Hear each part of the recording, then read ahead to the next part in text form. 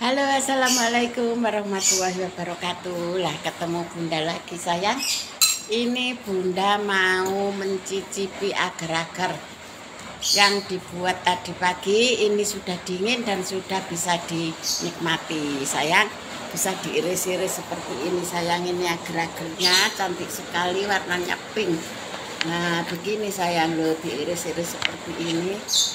Nah seperti ini sayang diiris-iris. Lah mau diicipi ya sama bunda ya. Nah ini. Uh, aduh gimana ini?